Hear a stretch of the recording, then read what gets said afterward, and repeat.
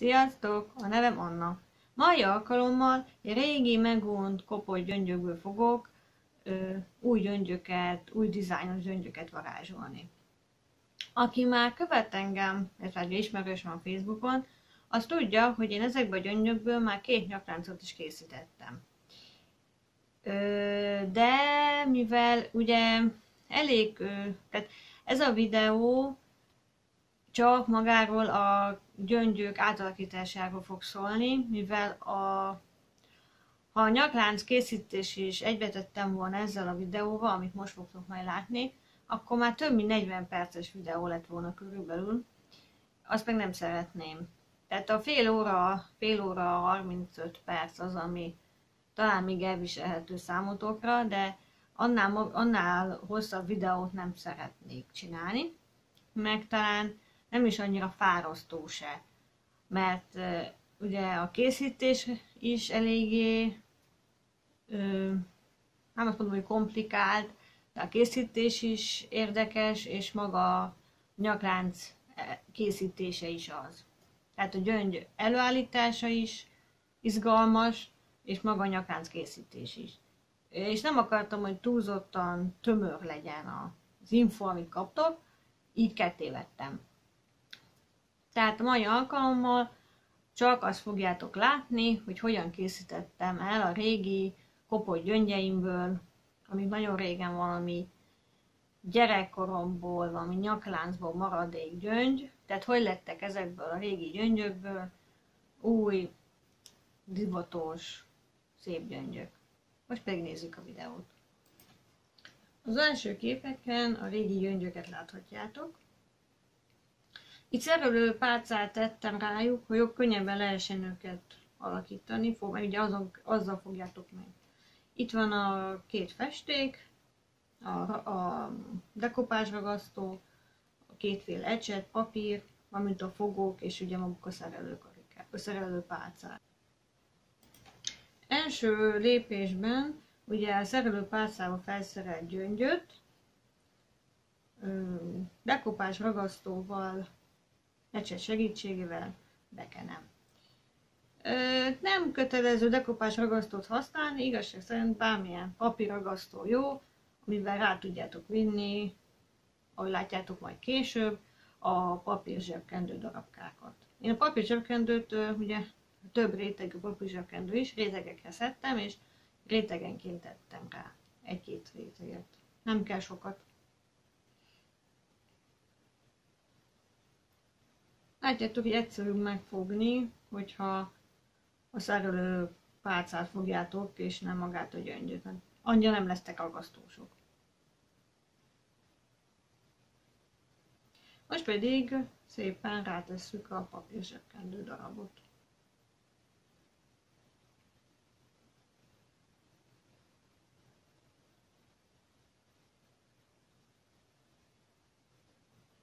És utána pedig újból leragasztál, le, le fogjátok ragasztani.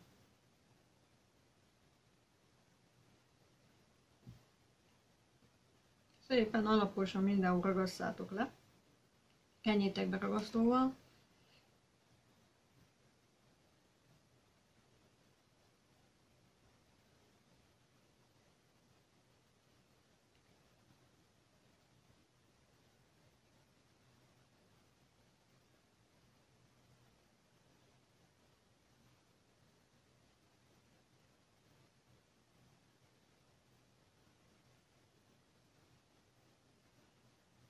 szépen, alaposan.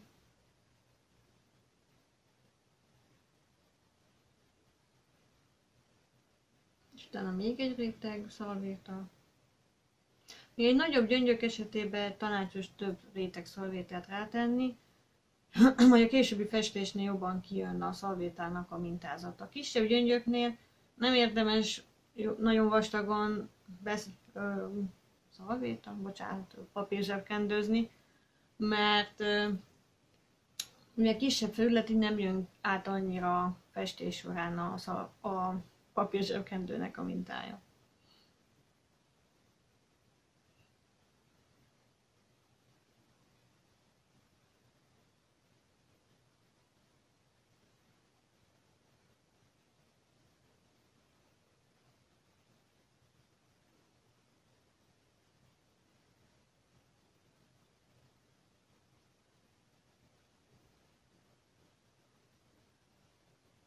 És ezt is ugyanúgy ragasztátok, és kenjétek le ragasztóval.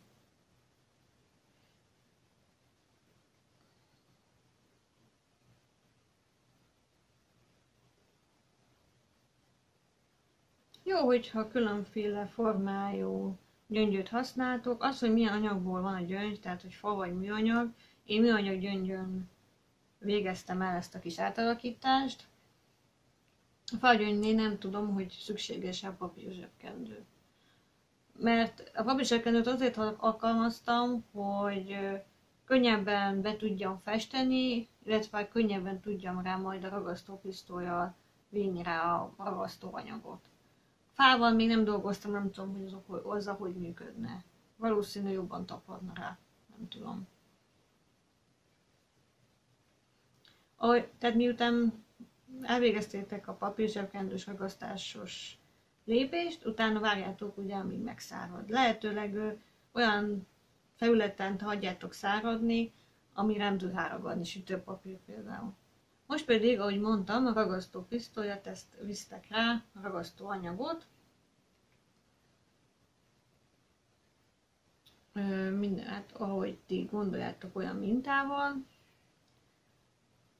Ugye én a nagy gyöngynél meg tudtam csinálni, megfogtam a kézzel a szerelő pálcikát, pálcát, de kisebb gyöngyök esetében főleg tanácsos, de még ennél is egyébként, hogy fogóval fogjátok meg a szerelő pálcát, és úgy ragasztózzátok a ragasztópisztoly, mert ez az anyag, ez forró. Tehát meg, csúnya meglepetést tud okozni, hogyha rámegy a kezetekre.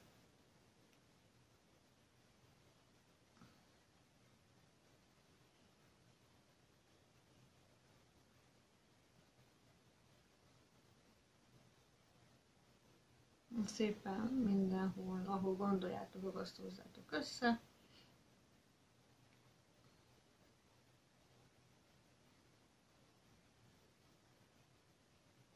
Úgyhogy a több éves ugyanígy jártok el.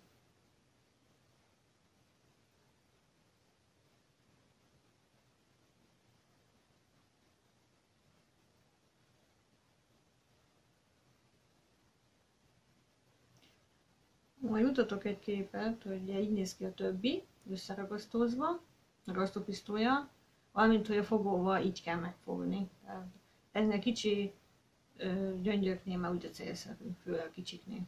Na ezután jön az alapszín rávitele a gyöngyökre. Nálam ez a sötét zöld szín volt az alapszín.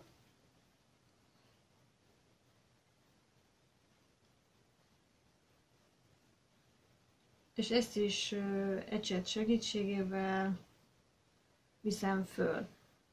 De már ugye nem kézzel fogom meg a szerelőpálcát, hanem fogóval, így nem leszek annyira festékes. És nektek is ezt ajánlom.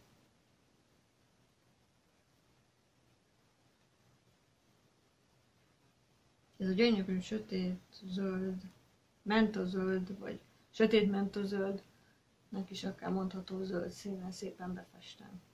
Aki festékkel egyébként. Mindenhol próbáljátok festeni, ha nektek úgy könnyebb, akkor először le is festhetitek, és utána vigyétek rá ragasztó pisztoly segítségével ragasztó anyagot. Én ezt így csináltam, de tényleg meg is lehet fordítani a sorrendet.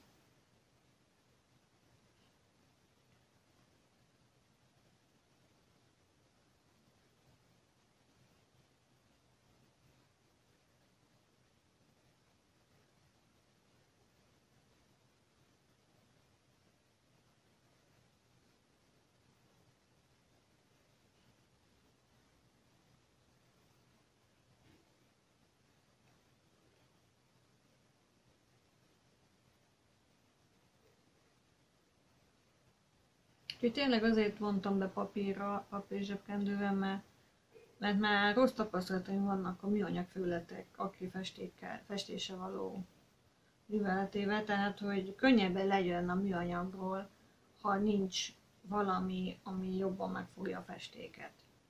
Ez esetben ugye a papír zsebkendő az, ami jobb felületet biztosít. Na, látjátok, hogy befelve van festve az összes gyöngyöm, most jön a következő lépés. vagy kiemeljem ezeket a kis mintákat a gyöngyökön. Én erre bronz, metál bronz színű akrilfestéket használtam, ami nagyon és különleges színt biztosít, meg ilyen hatást kelt meg a gyöngyön, látjátok is. Hát én sima, spontán egyszerűséggel az ujjammal vittem föl rá a, ezt a bronz színt, és látjátok, hogy milyen jól néz ki így.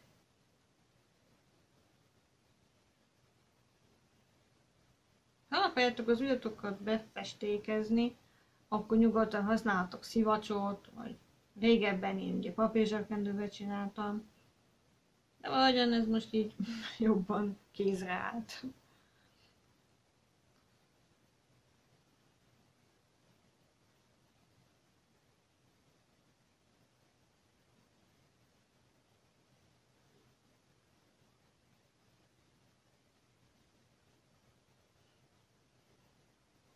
Ah, gondoljátok szépen, fessétek be ezzel a bronz színnel, vagy amilyen színnel szeretnétek.